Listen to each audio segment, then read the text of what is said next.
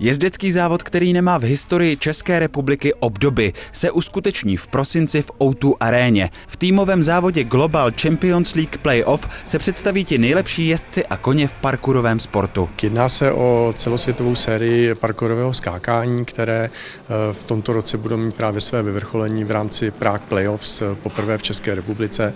Bude se účastnit celkem 200 koní, 100 eh, jezdců. Tato soutěž je soutěží Playoffs pro 16 nejlepších týmů, které se kvalifikují v rámci Global Champions League během celého roku. V rámci Prague Playoffs je eh, udělena dotace ve výši 300 milionů korun, tak skutečně už jenom proto eh, opravdu vidíme to nejlepší, co vůbec v tomto sportu můžeme vidět. A jak tedy bude vypadat samotný závod? Parkurové skákání to je vlastně jezdec na koni, který musí projet určenou trasu s určeným počtem překážek na určité obtížnosti v daném časovém limitu.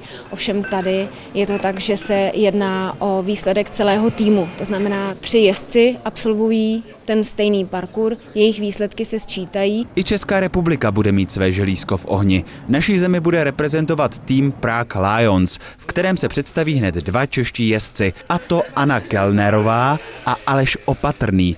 Pro diváky je připraven i zajímavý doprovodný program. Máme připraveno eh, světovou, připravenou světovou premiéru eh, Žána Francova Pignona, což je volná drezura kamarských koní. Připravujeme také program pro děti, například máme připravený eh, dostih na poníkách pro děti. Závody Global Champions League Playoff se v Praze uskuteční od 13. do 16. prosince tohoto roku.